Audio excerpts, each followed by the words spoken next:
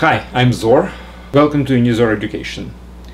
Uh, today I would like to talk about dependence between random variables and actually about how to measure the degree of that dependence. So we all know about independent variables and now we'll talk about some measurement of their dependence if it exists. Um, basically the purpose is more for statistical reasons um, but I will address that in the statistics course. Uh, right now, I'm talking only about dependence and the measurement of this dependence from a theory of probabilities standpoint. Um, this lecture is part of the um, advanced math course for teenagers and high school students. I present this course on unizor.com. I suggest you to um, watch this lecture from this website because it has um, notes for each lecture and for registered students there is a whole educational process um, which can be engaged upon um, using uh, enrollment and exams. Alright, so back to dependence and independence.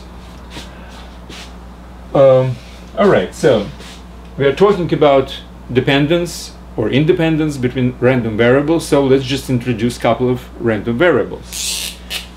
Um, so how do we do it? Well, first of all, to introduce any kind of a random variable, we have to provide, if you remember, the probability space, which contains certain elementary events, and the probability measures associated with each elementary event. And now we need the second probability space, which has other elementary events and uh, the corresponding probability measurements associated with each event. Now, for each um, elementary event, um, there is a function which basically takes some uh, some um, numerical value. In this case, I call it xi. In this case, I call it eta and it takes certain values on each elementary event. So the value of this function xi on element ei is equal to xi and the probability of this is equal to pi. Similarly, random variable eta on elementary event fj takes value yj and the probability of this is equal to qj. Now this is letter y, not not Greek letter phi. Okay, so let's forget about probability spaces. We don't really need them anymore, just for a definition. So we have two random variables, xi and eta. This one takes uh, m different, or not different, doesn't really matter, elementary uh, um, values, uh, which I called x1, etc., xm, and the probability um, of uh, each is equal to pi, and uh, random variable eta takes values yj where j is from 1 to n and the corresponding probability q j. Okay so fine. We have our random variables. We don't need anymore our probability spaces. They don't really participate in any further explanation. It's just to make you a little bit more aware about back to what is random variable right? Now, first of all, let's concentrate on independence. What are um, what uh, random variables are called independent in this particular case? So these we have two random variables. When can I say that they, that they are independent? Well, here is the definition. If conditional probability of xi to take some value xi under condition that eta already took some value yj if it's equal to unconditional probability of xi to be xi.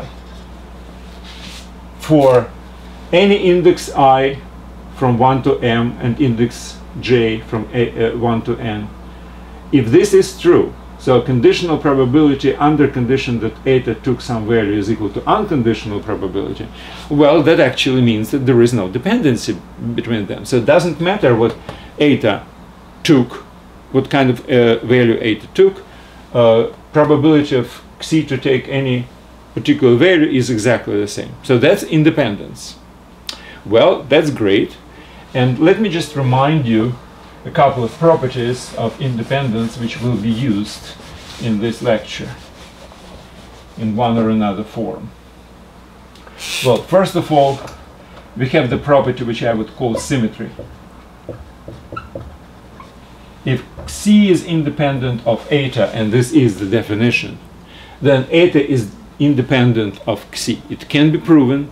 It was proven during the corresponding lecture when I was talking about independence. So basically it means that the probability of eta to take value yj under condition that xi has already taken some value x um, is exactly the same as unconditional probability of eta to take value yj. So this follows from this. Now, another thing which is also following is that probability of simultaneously taking um, certain values and eta to take value yj is equal to the product of these probabilities multiplied by probability of eta to take yj. This has already been again proven before. I'm not going to prove it right now, but, uh, but I just want to mention the property of independent variables. This is only for independent variables, obviously. The probability of simultaneously taking some values is equal to the product of their uh, mm, probabilities. Like, for instance, if you have two dice the probability to have, let's say, number two on the first and number, I don't know, five on the second is the product of probability of um, the first one to take number two and the second one to take the number five. Because the first one, the probability of simultaneously having two and five is basically 136 because there are all 36 combinations. The probability of each is 1 6. So 1 6 times 1 6 is 136, right? Okay. And the third one, which I also has, um, I also have proven this. Um, it, it, it has been proven in one of the previous lectures that mathematical expectation of two uh, of the product of two independent variables, very important, independent variables, is equal to the product of their mathematical expectation. By the way, the corresponding theorem about the sum of two uh, random variables does not depend on whether they're dependent or independent, but the product, the mathematical expectation of the product, equals to the product of uh, expectations only for independent. The theorem was proven only for independent. Well, it doesn't mean that it's impossible to have dependent variables with the same property, but this is kind of an, you know, it, it, it happens, but it's not really something which is true always. With independent, it's always um, true. And obviously, if this is not true, it means they're not independent, right? All right, so these are properties which we will be using in uh, further research in this lecture. And I would like you just to point, uh, I would like to point out these properties. They exist and we will be using them. Okay, next.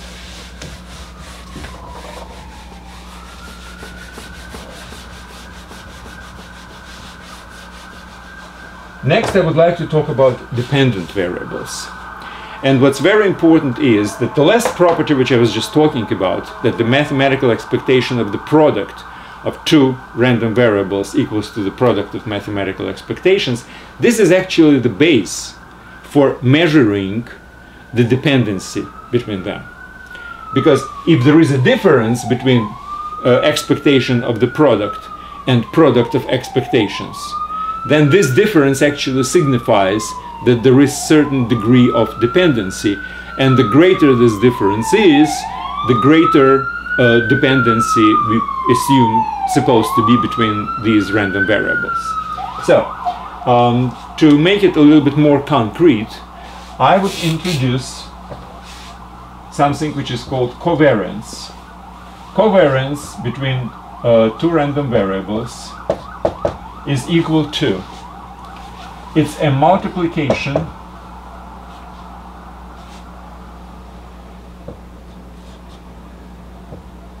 of their deviations from their average values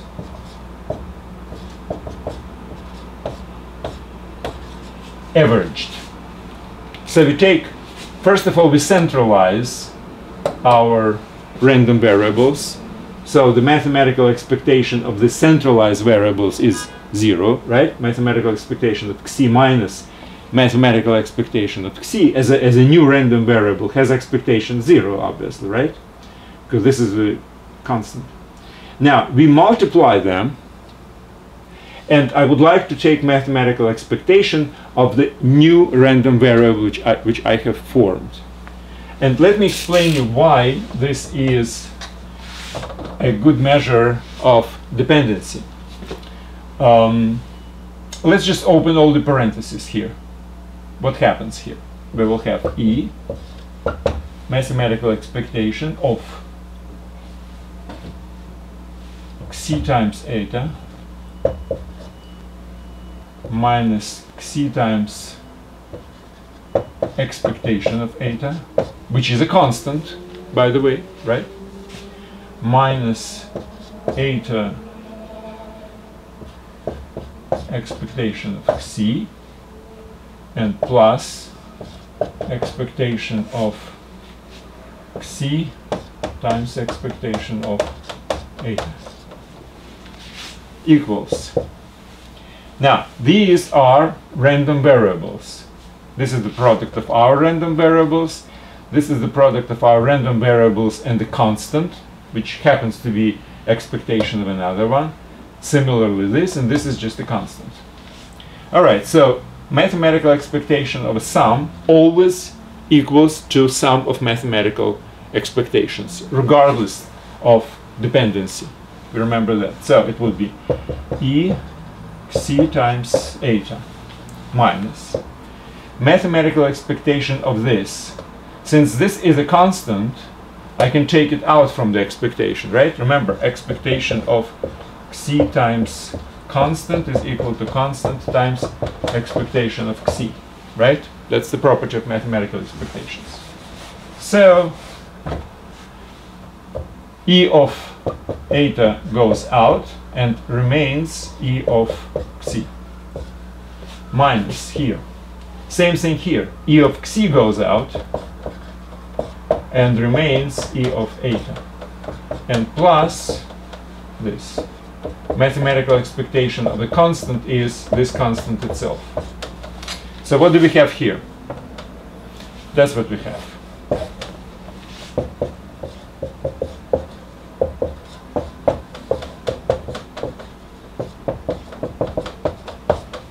Only these two members remain. I just flipped them.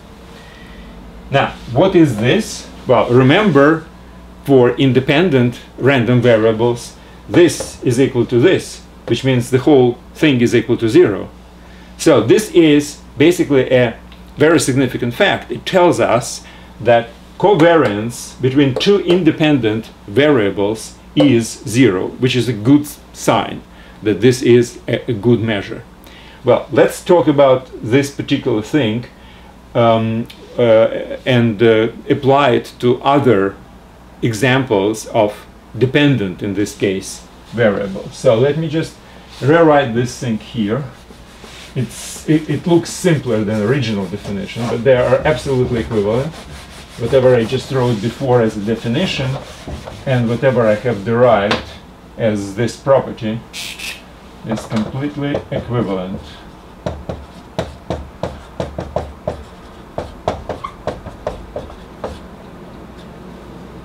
Okay, so we will use this form of the definition, which is exactly equivalent to the original one. And let's examine how this particular uh, uh, definition of the covariance acts in certain dependent cases. Okay, what is ultimate dependency between two different random variables? Well,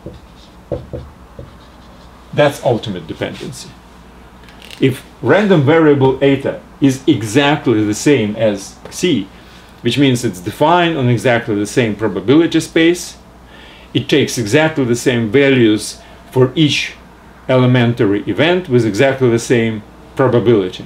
So they are obviously dependent.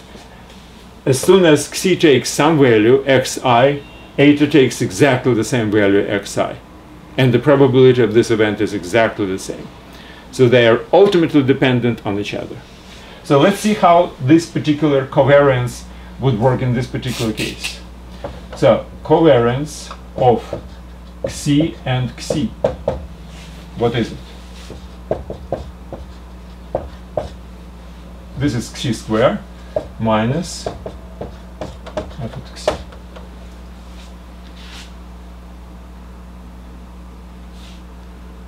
Which is what? That's variance of xi. Right? Remember?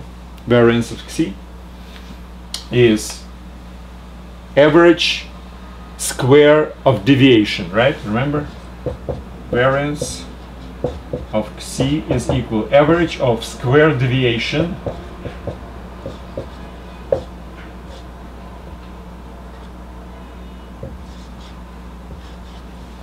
of xi from its um, from its from its expectation, which is equal to d square minus 2 xi e of xi plus e square of xi right? And which is equal to e of xi square minus 2 and this is the constant so it goes outside of the and times this one plus e square of xi. Now this is minus 2 e square and this is plus so it would be e of xi square minus e square of xi which is exactly this. So this is variance. You know that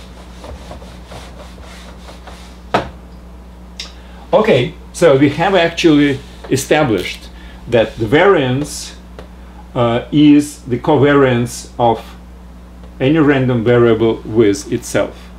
Okay, what is a little bit different example of very, very rigid correlation between xi and eta?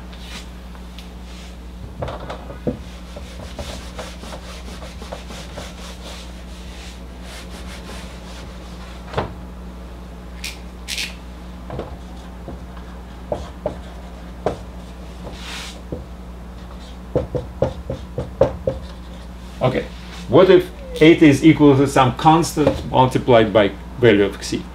It's exactly the same type of rigid relationship between xi and eta as this one, because the value of xi 100% defines the value of eta. You just multiply it by 8. That's the only difference with this one. So let's see what co co covariance will be in this case.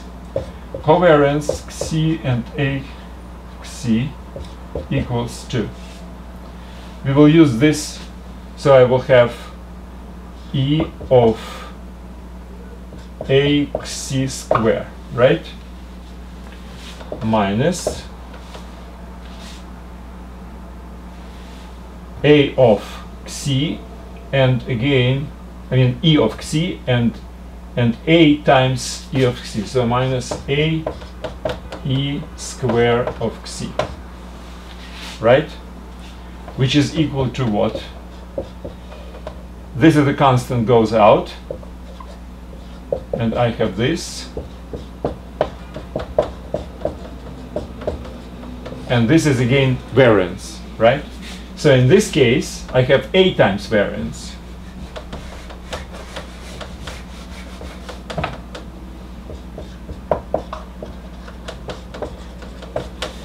Now, this is very interesting because I can actually have A positive or negative. If A is positive, let's say it's equal to 1, all right, I will have exactly the same as this one. If A is negative, let's say minus 1, I will have minus variance. Now, what minus means uh, in case of covariance? Well, if this is minus 1, then whenever xi goes up, eta goes down, right?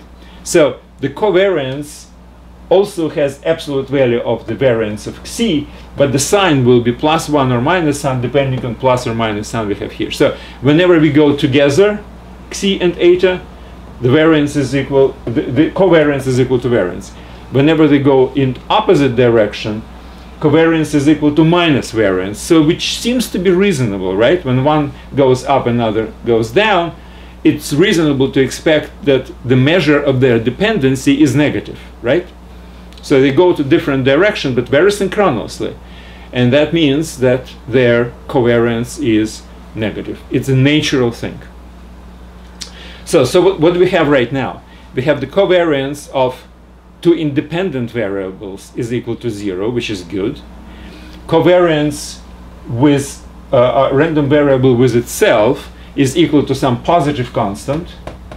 And covariance with minus itself is negative constant, which has exactly the same absolute value. So that's reasonable. Now, would you expect if our relationship not is, is not that rigid. I mean, there is a re relationship, but not as rigid as in these two cases. Then the covariance should be well slightly less than let, let's say this one, right?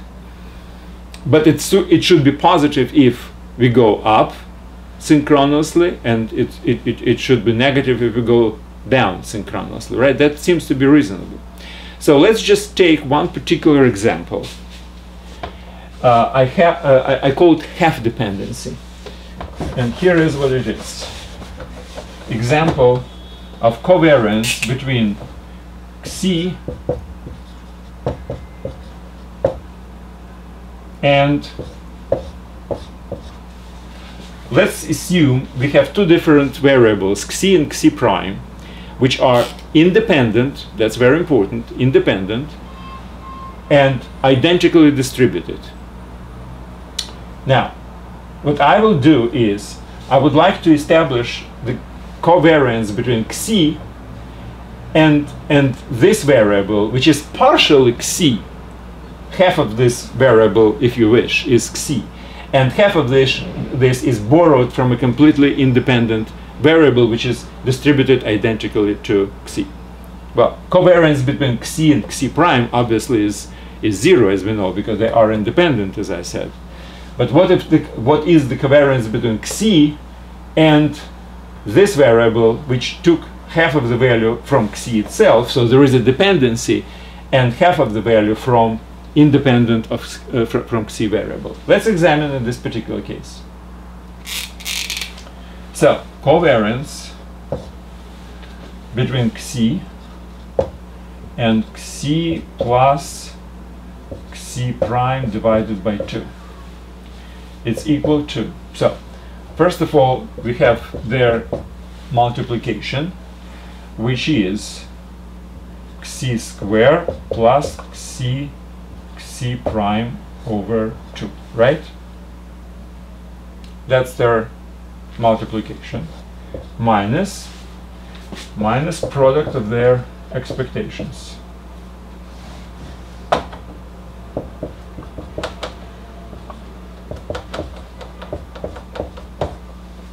Now, what is this? One half goes out.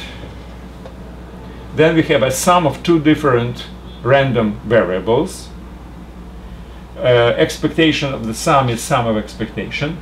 So I will have e of xi square plus e of this product.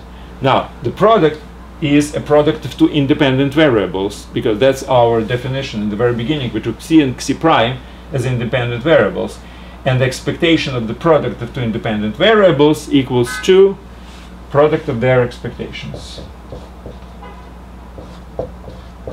So that's why I can write it this way. Minus. Again, one half goes out, so I can actually retain this, and I will continue in my square brackets. Now, um, after one half goes out, I have e of xi times e of xi, because this is the sum of expectation of sum is sum of expectation, so minus e of xi square, right? And minus product of expectations of xi times expectation of xi prime. now, let's think about it. What is expectation of xi prime? Well, I said that Xi and Xi prime are independent and identically distributed. If they are identically distributed, their expectation is exactly the same. So this is exactly the same as E square of Xi. And this is minus E square of Xi. And this is again minus. So basically, I have one, two, three exactly equivalent um, terms, but one is with a plus and two others with a minus. So I can actually reduce this thing and what do I have remaining? I have this covariance is equal to 1 half. And what's in the parentheses? In the, in the square brackets. This is square bracket. So what's in the square bracket? Uh, expectation of a square minus square of expectation, which is again variance.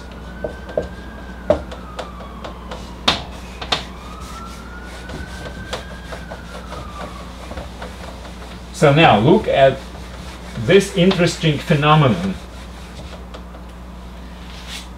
My variables xi and xi uh, and xi plus xi prime over 2 are, as I said, half dependent, right? Because the, this variable took half of its value from the xi and, and half from some other independent variables. So it's less dependency than, let's say, in this case, when xi, when eta took all the values from from from xi and they are absolutely in sync. So my covariance is reduced by half. Isn't that wonderful? half of the dependency results in half of the covariance. So that's all makes sense. Well, obviously, if I will take something like minus uh, or plus, uh, if I will have minus xi plus xi prime, it would be minus here. So again, it will be, if, it, if it's in a different direction, it will be again half of this, but with a minus sign. So, all I'm, all I'm saying is that this coefficient of covariance has, um, has a very meaningful, actually, applications. It's really measuring how uh, well or how much um, one random variable is dependent on another. One more step, and we will finish this. The step is, you see, this is dependent on the variance. I think it's very interesting to have a measure which is um, uh, uh, concentrated, let's say, from minus 1 to 1, with 0 being the measure of independent um, um, uh, variables.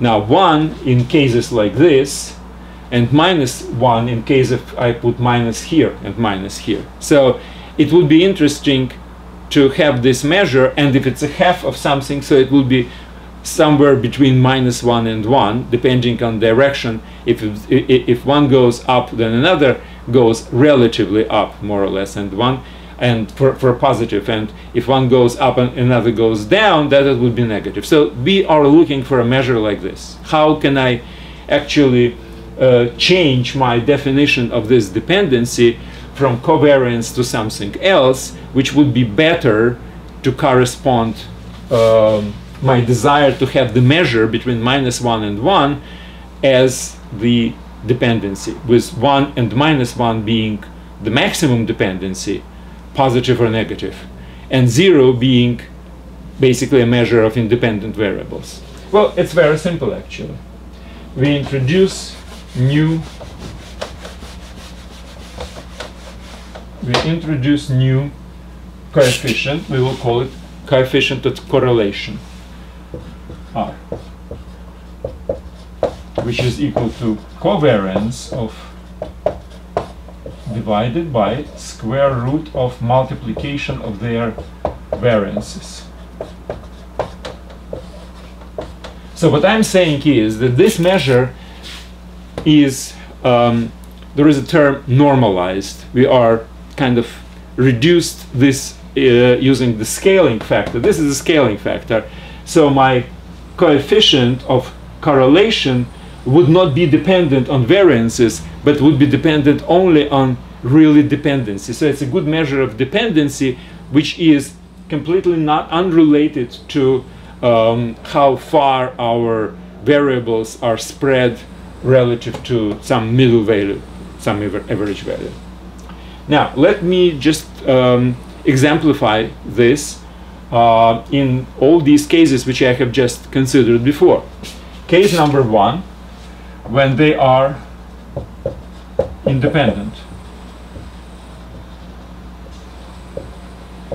What will be with their uh, correlation? Well, if they are independent, the covariance would be equal to zero, so that's why the whole thing is zero. So we have achieved our point. Independent variables have zero correlation. That's good. Now, let's talk about dependent variable. let's examine uh, that's 8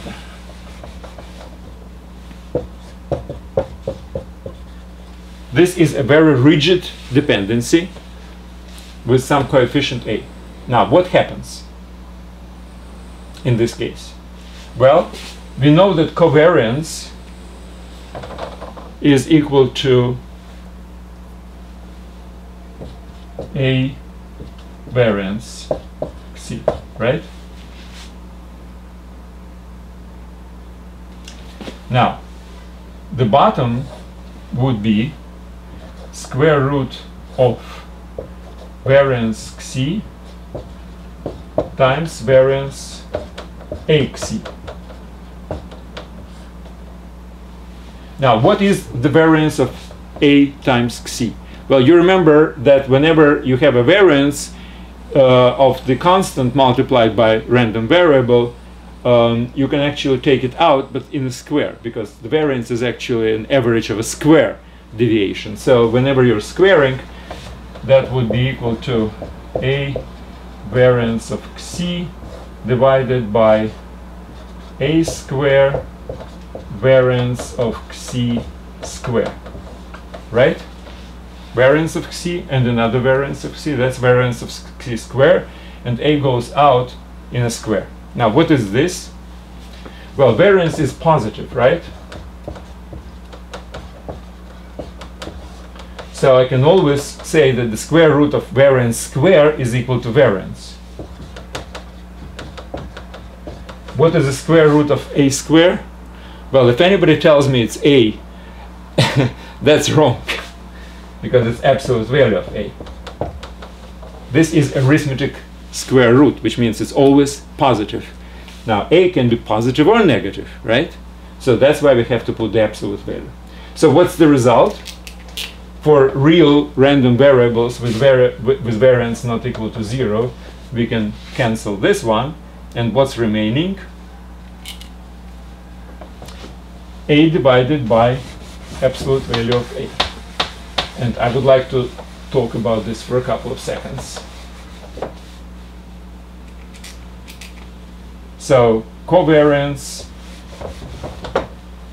divided by so correlation of Xi and A Xi is equal to A divided by absolute value of A. Now, what is this? What is absolute value of A? Well, considering k is not equal to 0, obviously. Now, what is absolute value of a? For positive a, it's exactly the same as a, right? So I will have a divided by a for a greater than 0, which is 1.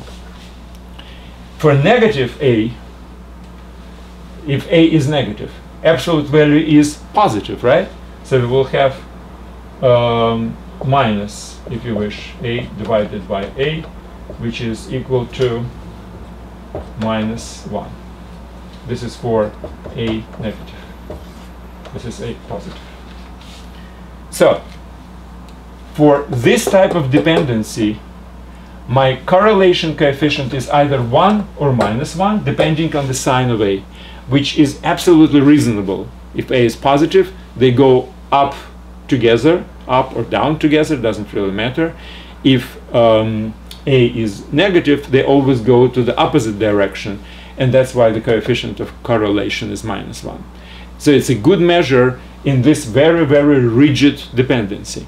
And my last example, when we will have half dependency, as I call it, that's a little bit more interesting. So what would you expect the correlation would be? Well, if you think it's one half, that's incorrect, but very close actually. So, uh, correlation between Xi and Xi plus Xi prime divided by 2, where Xi prime is independent of Xi and identically distributed. So that's very simple. On the top, I have one half of variance, remember? Of Xi. We just did it. On the bottom, I have square root of variance of Xi. Now, what is variance of this guy? Well, you remember, if you have a coefficient some kind of a factor, you can take it out from the variance, but in a square, right? Now then you have variance of a sum of two independent variables. Variables, if they are independent, then, then, then sum of their variance is equal to variance of their sum is equal to sum of their variance. Always important is that they are independent. This theorem is only for independent variables. It's like um, multiplication. Whenever you have expectation of product is equal to product of expectation only for independent. Same thing with variance. Variance of sum is equal to sum of variances only for independent variables. So if I have sum of these two variables and I have variance of their sum, so it's sum of their var variances, and they are identically distributed, so each is exactly the same variance and is equal to variance of xi. So I have two variances of Xi. Now, obviously variance is positive, so this would reduce. So I will have 1 half divided by square root of 1 half, which is equal to 1 goes here, which is equal to square root of 2 over 2. So, again, it's a good measure in this case it's a positive. Now, if we had some negative, for instance, would be negative. But in any case, it's something between, now, square root of 2 is 1.4 something, so it's 0.7. So it's not exactly one half. It's more than one half. But anyway, it's a meaningful um, measure of the dependency between this and this. So, my purpose was to introduce this particular um, this particular uh, coefficient. It's uh, called coefficient of correlation. Covariance, by the way, is just a way to introduce the correlation. So I was talking about correlation, that's my main goal. I have introduced this as a measure of dependency between random variables. And as a side note, um, obviously this is not very much used in, well, theory of probabilities per se. This is just an apparatus which is used in statistics because in statistics we can um, have something which is called a sample correlation. And the sample correlation, when we don't really know whether two different random variables are or are not related to each other, are or, not, or are not dependent on each other, and to check whether there is such a dependency or not, we will use the correlation between them, which we can statistically evaluate. And if we are very close to zero, whenever we are calculating the calculation, the, the um, correlation, then the chances are these variables are relatively independent. If there is a strong correlation, which is close to 1 or close to minus 1, for instance, we need uh, this correlation between, let's say, a drug, which we are applying to treat some illness, and the final result, whether the person gets better or not. So that's the most important factor, the correlation between application of drugs and whether the person gets better. If there is such a correlation, if it's a, if it's a strong correlation, closer to 1, that means the drug is working. Okay, that's it for today. Thank you very much and good luck.